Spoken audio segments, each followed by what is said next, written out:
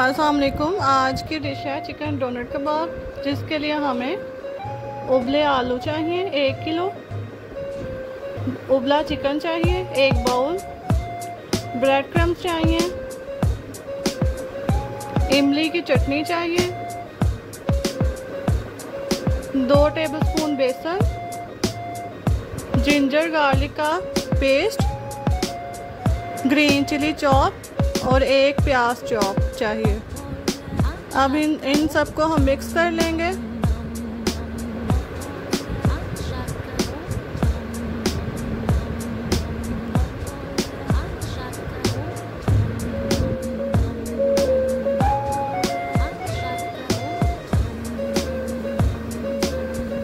ये मिक्स करके हम पटाटोस को मैश कर लेंगे अच्छी तरह से।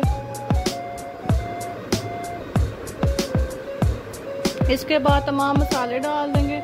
ये इमली का पानी मैंने सिंपल इमली को पानी में भिगोया था, एक घंटा। और फिर उसका पल्प अंदर अच्छी तरह से मैंने चोड़ के उसको बस उसका चटनी बना ली थी। तीन खाने के चम्मच ब्रेड क्रम्स ऐड करेंगे। One teaspoon black pepper half tea spoon हल्दी।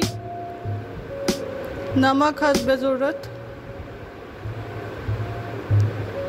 रेड मिर्च one teaspoon chilli flakes half tea spoon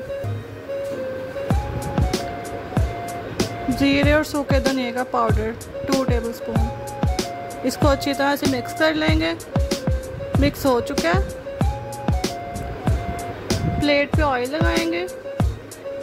अब हम ये डोनट की शक्ल बना लेंगे इसकी। गोल करके पहले, फिर सुराख कर देंगे।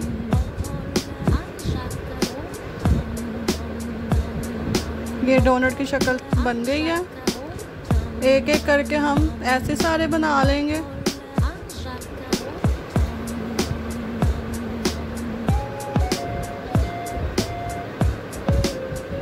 अब हम पहले इसको अंडे में कोट करेंगे, फिर ब्रेड क्रम्स में। दो अंडे फेंट लेंगे। पहले अंडा लगाएँगे फिर ब्रेड क्रम्स लगाएँगे।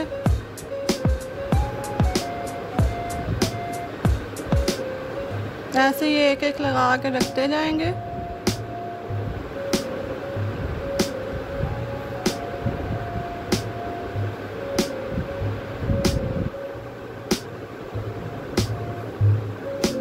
ये बना के आप चार से पाँच दिन फ्रीज कर सकते हैं। अब हम इसको फ्राई कर लेंगे। ये देखें बड़े अच्छे से माई फ्राई हो चुके हैं।